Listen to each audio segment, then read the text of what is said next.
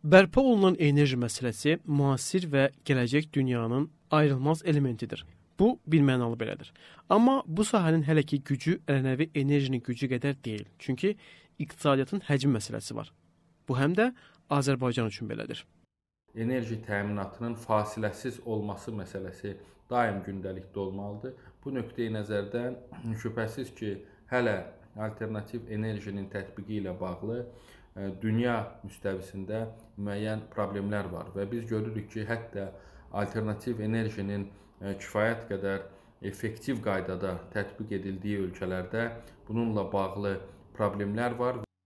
Azərbaycanda belə problemlərin olmaması üçün Birləşmiş Ərəb Əmirliyi və Səudiyyə Ərəbistan şirkətləri ilə müqavilələr bağlanıb.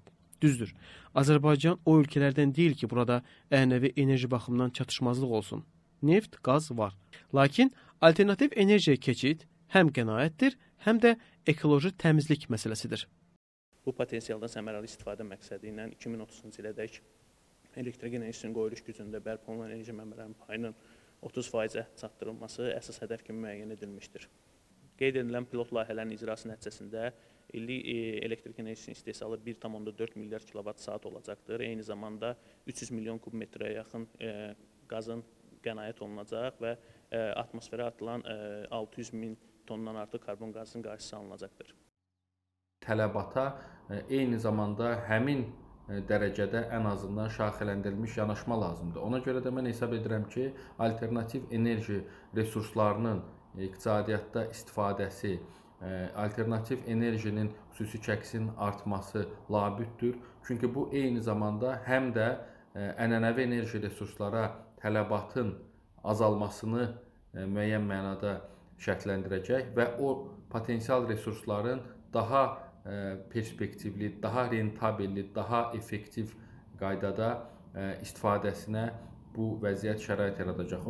Deməli, alternativ enerji həm iqtisadiyyatın, həm də sıravi insanların, məsələn, vətəndaşın həyətində, müxtəlif fəaliyyət sahəsi olan ərazisində günəş paneli və ya kiçik külək turbini yerləşdirməklə müəyyən qədər keçid edə bilər.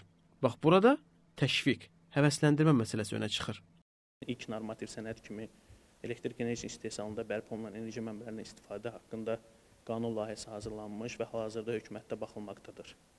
Paralel olaraq Avropa Yenidən Qurma İnkişaf Bankının dəstəyi ilə Azərbaycanda bərpa olunan enerji hərrazlarının keçirilməsinə dəstək layihəsi və Asiya İnkişaf Bankının dəstəyi ilə üzən günəş panellərinin inkişafı üzrə bilik mübadiləsi layihəsi həyata keçirilməkdədir.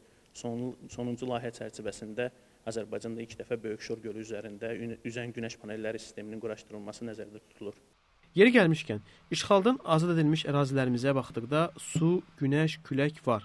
Bu var olanlar da alternativ enerji mənbələridir. Ümumiyyətlə bu ərazinin ə, e, günəş enerji potensialı hardasa 4000 meqavatdan artıqdır.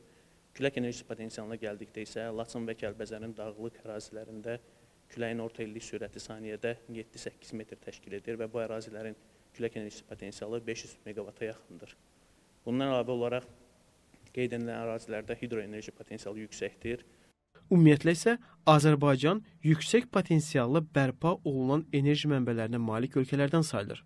Potensialı rəqəmə çevirsək, bu 27 min meqavat deməkdir.